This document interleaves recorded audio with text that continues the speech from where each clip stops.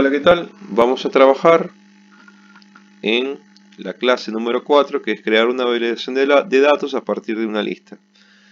Les voy a pedir que ingresen a su hoja Excel, a la hoja que hicieron en el documento, que en la clase 3 tuvimos que hacer un horario semanal de actividades.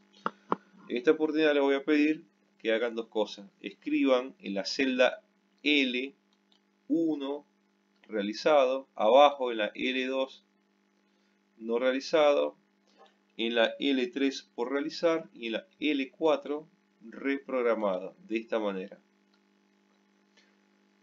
Otra cosa que vamos a aprender en el día de hoy, que es un rango de datos. Un rango de datos es un segmento de celdas que tienen un principio y un fin. Es algo así como un desde hasta, sería el rango en Excel. Bueno, los rangos voy a necesitar que anoten una hoja aparte lo siguiente. El siguiente rango. Este sería la celda L1. Voy a colocar el símbolo de exclamación boca abajo. Escribo L1 por el principio. Pongo dos puntos. Y escribo después L4 por el final. Y estos dos puntos me indican que estoy seleccionando todas las celdas que están en el medio hasta desde este punto hasta este. Anoten ese rango que lo vamos a utilizar. Bueno, seguidamente el paso 3 es que vamos a seleccionar todos estos cuadros que están vacíos. eh, vamos a seleccionar, es decir, acá estoy seleccionando un rango, desde el rango de la celda B4 hasta la H10. Vamos a ver cómo se, cómo se ve eso. seguidamente voy a datos, validación de datos. Recuerdo que este tutorial es válido para aquellos que están haciendo esta actividad desde computadora.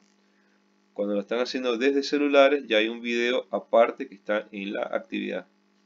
Quiero que vean el intervalo de celdas está mi nombre, que es el que está en la hoja. Seguidamente el nombre aparece el símbolo le un poco abajo, la celda B4 hasta la H10. Es decir, estoy seleccionando todos los datos de la celda B4 hasta la H10. Voy a necesitar en los criterios que sea lista a partir de un intervalo que esté seleccionado me piden el intervalo y el intervalo es eh, aquel que copiamos en una hoja. Tenemos dos formas de hacerlo. O lo hacemos de esta manera, seleccionamos estos datos,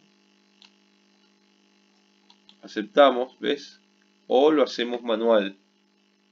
Lo podemos escribir el rango de celda de la L1 hasta la L4.